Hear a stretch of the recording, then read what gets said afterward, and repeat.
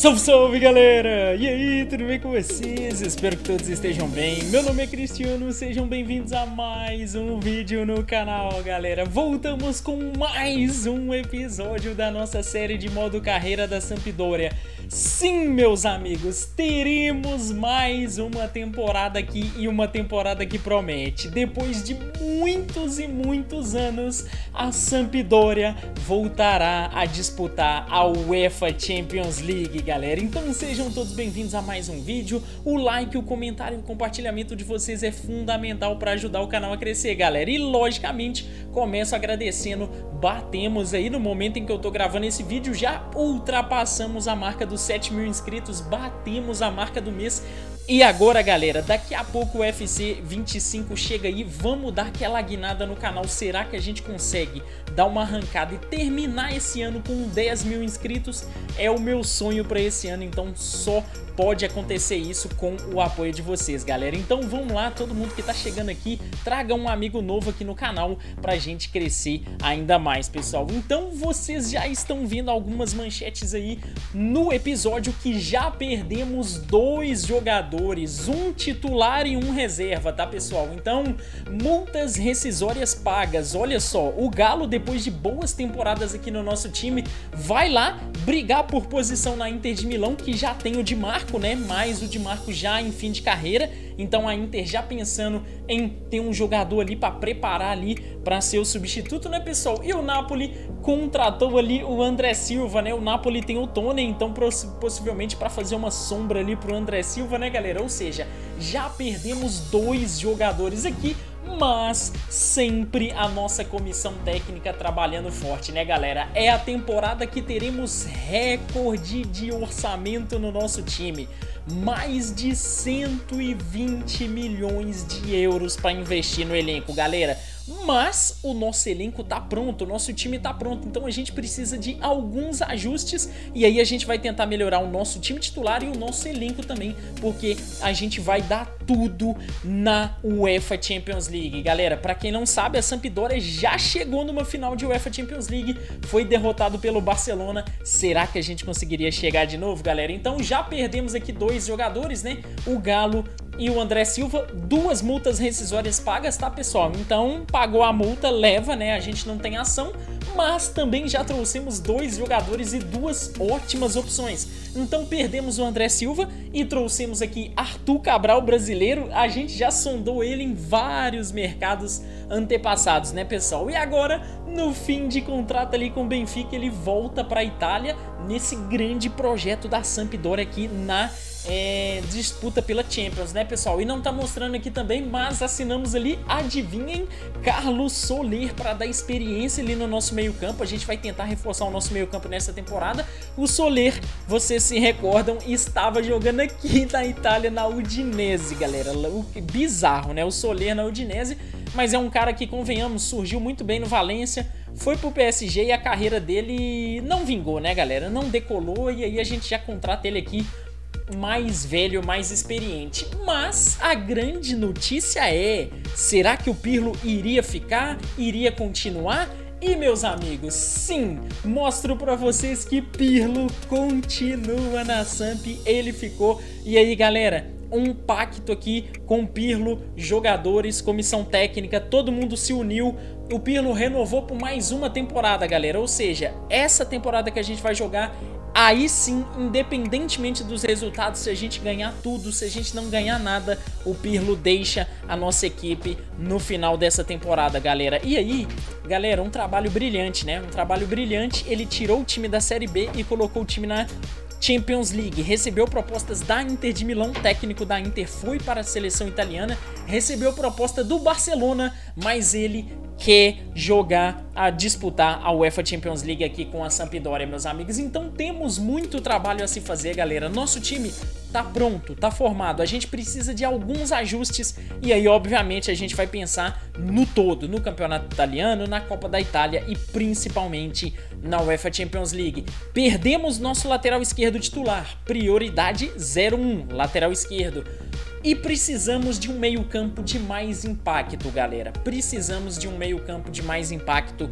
Prioridade número 2 é isso. Nosso ataque está formado, É, lateral direito a gente precisa, a gente só tem o Belanova, subiu um garoto da base, então a gente vai precisar de um lateral ou com nível de titular, se a gente achar alguma é, possibilidade, ou para ser reserva do Belanova, né? Então vamos tentar trazer um jogador de bom nível, tá galera? E aí a gente tenta melhorar o nosso banco de reservas aqui, justamente priorizando a lateral, que a gente não tem, Garoto Rodrigues ali, a gente viu que ele sentiu na temporada passada e tentar trazer um ponta também, né, pessoal? E o meio-campo ganha o reforço do Carlos Soleiro. Então, o episódio promete, vai ser um episódio só com janela de transferências, possivelmente vai ficar mais curto aí, porque a gente tá com o time pronto, né, galera? Então a gente vai em busca de oportunidades de mercado e nessa janela a gente tem grana para pagar multa rescisória, para investir pesado nos jogadores, mas não é porque a gente tem dinheiro que a gente vai gastar de qualquer jeito, a gente quer manter o clube aqui bem estruturado, galera. E espertamente já fomos ali na lista de transferências e já achamos a nossa opção do meio-campo na lista de transferências, galera. Tá lá disponível para vender e eu vou mostrar para vocês quem é o jogador. E vamos lá, galera. Olha só que maravilha, pessoal. A gente sempre em busca ali de grandes oportunidades na janela de transferências. Galera, temporada passada a gente perdeu de forma amarga a Copa para Juventus, né? E vocês viram que o meio-campo da Juventus é insano, né? Os caras têm De Jong, Rovella, várias opções no meio-campo e quem perdeu espaço, galera, um grande jogador, um ótimo jogador aqui, que na Juventus ele não foi aquilo tudo que todo mundo esperava, né, pessoal? Manuel Locatelli, colocado aqui à venda pela Juventus, porque seu último ano de contrato é nessa temporada, ou seja, a chance da Juventus fazer uma grana com ele e recuperar o investimento é agora, pessoal. Ou seja, jogador aqui super disponível pra gente. Passou a temporada passada toda na reserva, né, sendo jogador de rotação de elenco da Juventus. E no nosso time, galera, convenhamos, por melhor que o Mandrágora tenha jogado, que o nosso brasileiro Souza tenha jogado, galera, o Locatelli é um nível acima. É um jogador com um nível acima e aí a gente pode recuperar o futebol dele e ele pode elevar bastante o patamar do nosso meio-campo, fazer uma bela dupla de volantes ali com o nosso capitão Sulemana, né? Então é ele é o cara que a gente vai atrás. A Juventus colocou para vender, então, meus amigos, vai ser uma negociação bem tranquila, então bora lá. Vamos lá, pessoal. Então vamos, obviamente, oferecer por baixo, né? A Juventus quer fazer uma grana com ele e a gente quer pagar um valor justo, né, pessoal? Então ele é um jogador extremamente valorizado, né, pessoal? Mais de 50 milhões, quase 60, né, na verdade, o valor de mercado dele, porém obviamente vai sair mais barato pela questão do contrato. Então, olha só, a gente ofereceu 45, eles fizeram uma contraproposta de 50. Então, não, vamos pagar aqui no máximo 47 milhões pelo Locatelli, que tenho certeza, galera, vai ser um baita reforço aqui pra gente. Eles querem 50, então vamos chegar no meio termo aqui, galera. Valor meio termo para todo mundo, 48 milhões e 500 podemos apertar as mãos, né? Vamos ser sinceros? Valor justo aqui para os dois times. Let's go! O Pirlo, com toda a sua categoria, já ligou pro Locatelli e falou: Quero você aqui no nosso meio-campo para ser titular no nosso projeto UEFA Champions League. E obviamente ele iria topar, então bora fechar o contrato dele.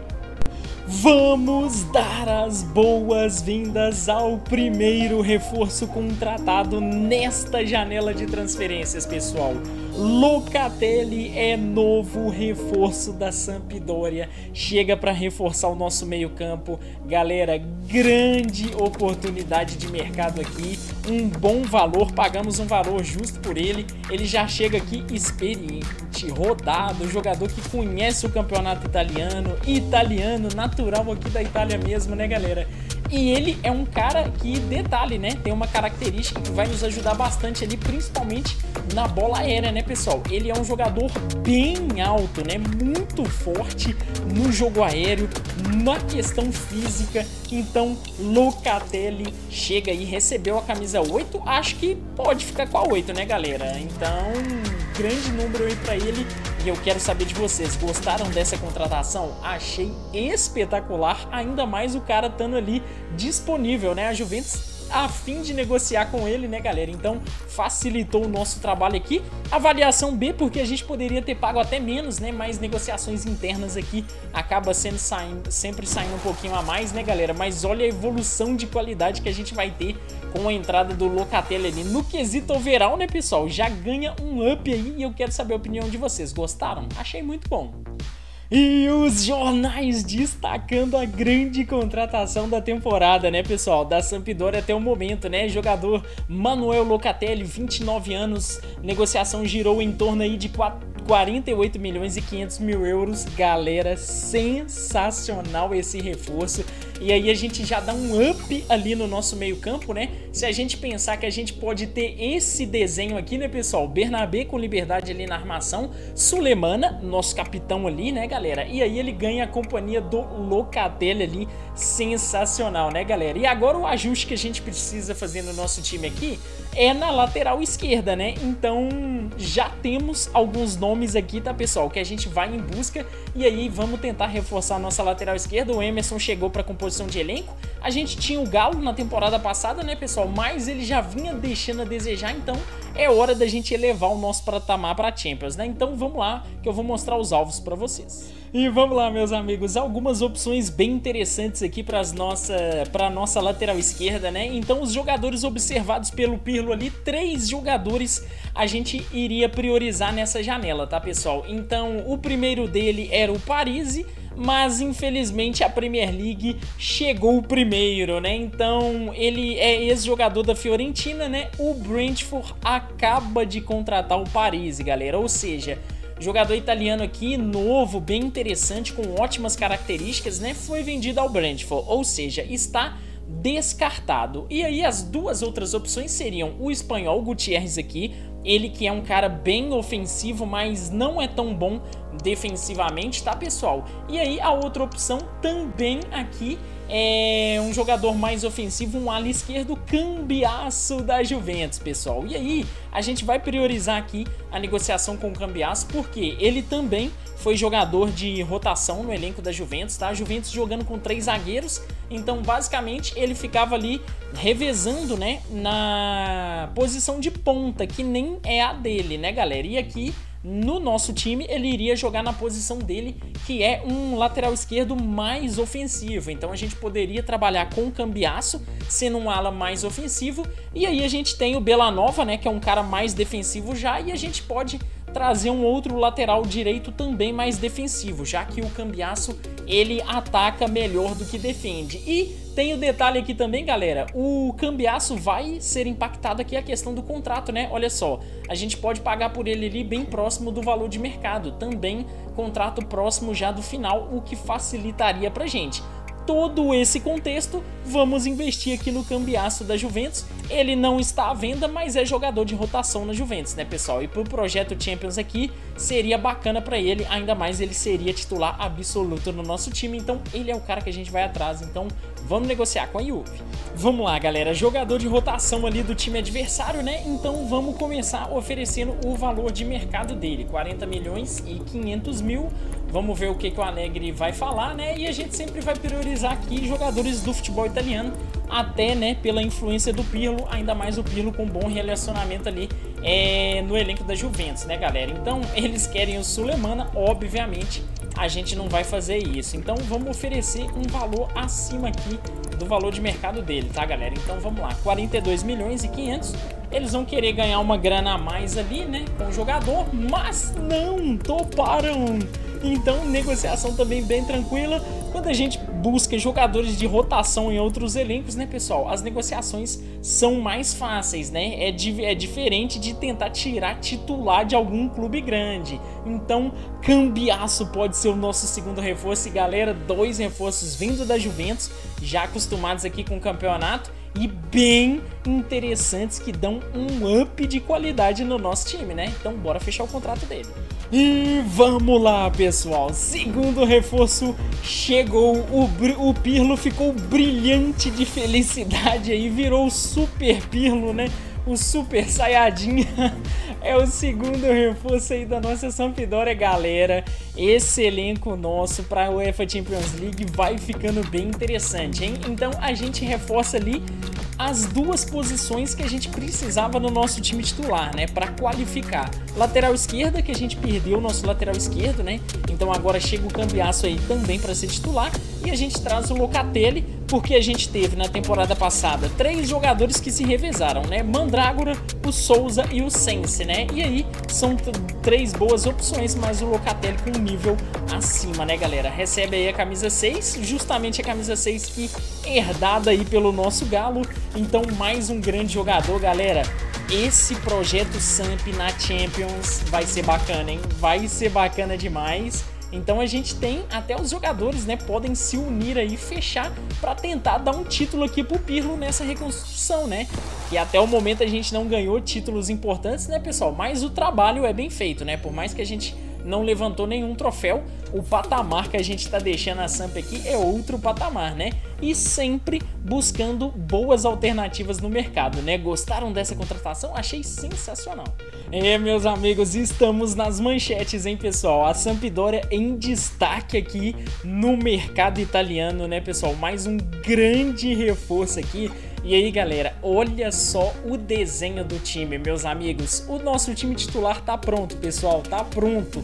Olha que sensacional. Então a gente pode ter a base aí do time reforçada de Locatelli e Cambiasso. É um time extremamente interessante, né? Agora a gente tem que visar reforçar aqui o nosso banco, né, pessoal? Porque na saída do André Silva já chegou o Arthur Cabral.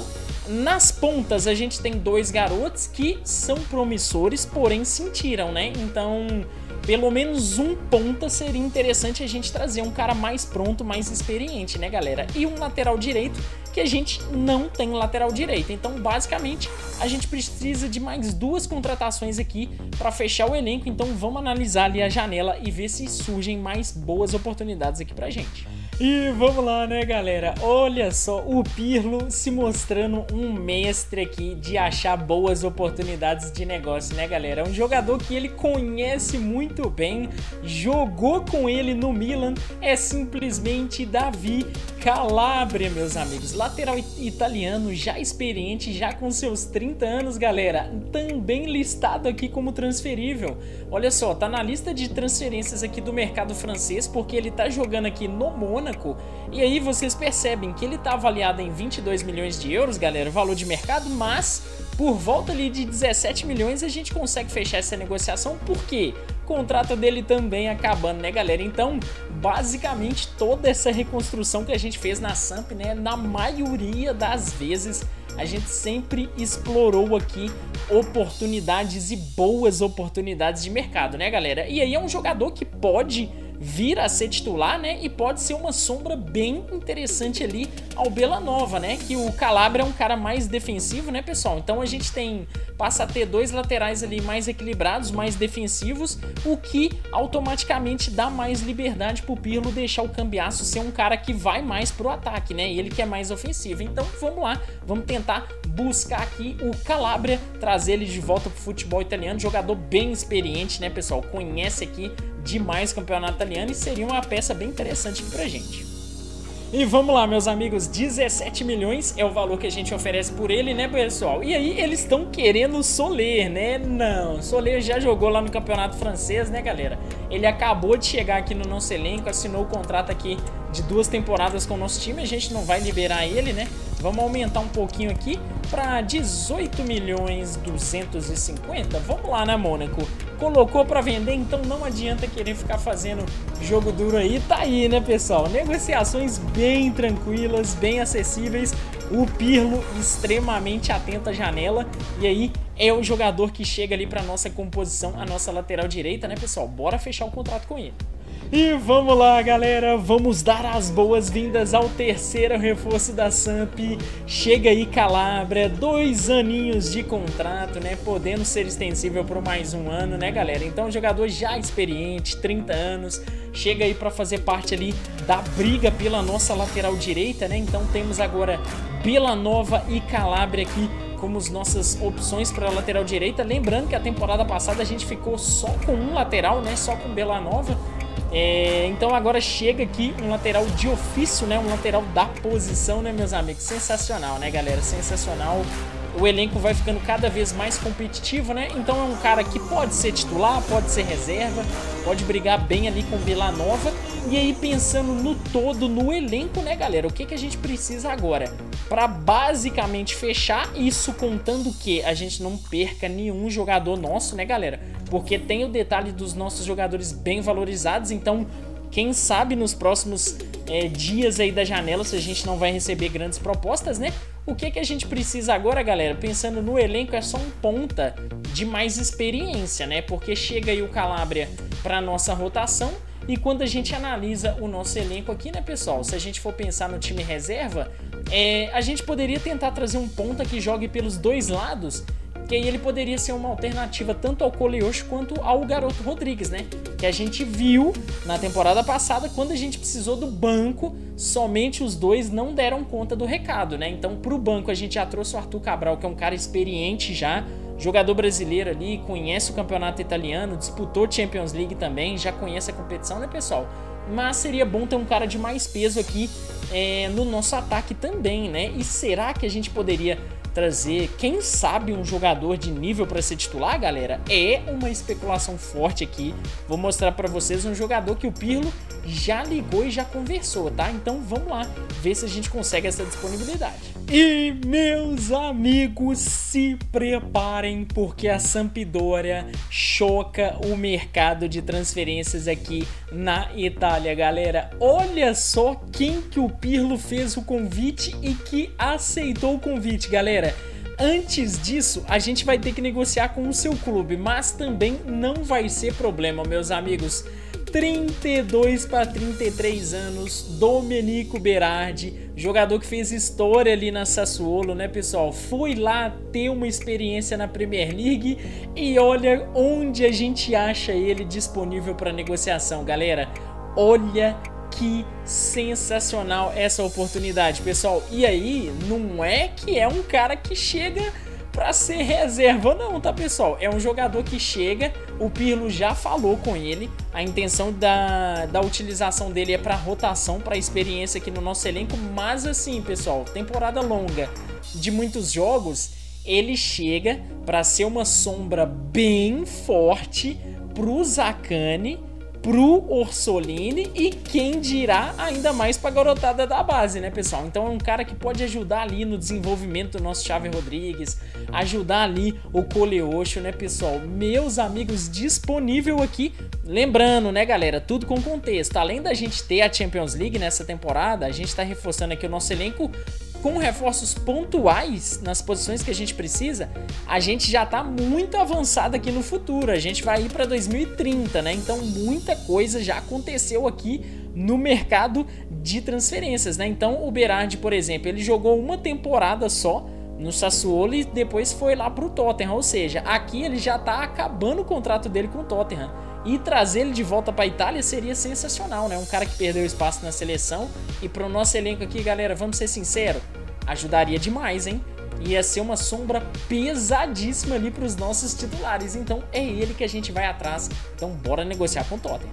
Vamos lá, meus amigos, e olha como pode ser essa negociação bem interessante pra gente. Lembrando que a gente tem uma garotada muito promissora da base voltando, pessoal, e a gente tem dois pontas aqui bem promissores, bem interessantes que a gente pode envolver nessa negociação aqui com o Tottenham, né, galera? Então, vamos oferecer aqui inicialmente 30 milhões é, de euros, mais um garoto aqui marino, né? Olha isso! E o Tottenham topa, galera. Por quê? O Postecoglou, técnico do Tottenham, gosta de trabalhar com a garotada. Ou seja, ele topa receber ali o nosso garoto, que é muito promissor, é um dos mais promissores que surgiu na nossa base, né, pessoal? Ele jogou a temporada passada emprestado e jogou muito bem. Eles têm interesse, pessoal. Então vamos lá, vamos aceitar. Olha que negócio sensacional que a gente consegue fechar aqui, galera. E o Berardi já deu sinal positivo, ou seja, ele, o Pirlo já se antecipou, já conversou com ele, já apresentou o projeto, ele já gostou. Agora é só a gente oficializar, então bora fazer isso. Vamos lá, galera. Duas temporadas, contrato fechado, assinado. Berardi volta ao futebol italiano, é novo reforço da Sampdoria. E aí, galera, é uma negociação que eu quero muito saber a opinião de vocês. Excelente contratação pra gente.